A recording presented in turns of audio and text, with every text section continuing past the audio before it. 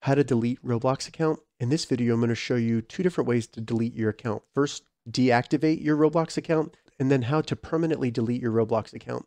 And if this video helps you, please consider giving it a like and also subscribe to my channel because that really helps me out. So to get started, we simply need to open up a browser and navigate to roblox.com.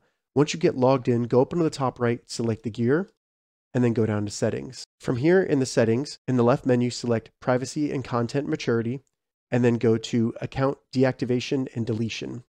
So from here, what we can do is deactivate our account. So this means that it'll be hidden and we will not be able to use it, but you have not permanently deleted your account. So if you select deactivate, you can then just confirm you want to deactivate your account. But as you can see here, to permanently delete your account, you need to contact Roblox support. So if you want to deactivate your account, which is reversible, you can always reactivate it. Just select deactivate.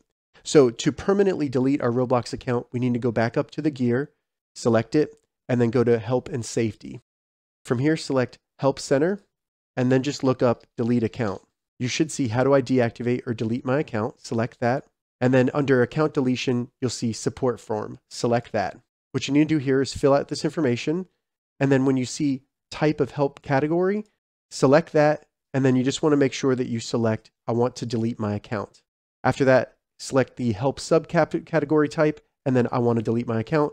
Then in the description here, you just want to say that you want to permanently delete your Roblox account so that it is removed from the Roblox server forever. After that, select continue, and Roblox should get back to you within a couple days with maybe questions because they need more information before they delete your account or letting you know that your account now has been deleted. If this video helped you, give it a thumbs up and please consider subscribing to my channel.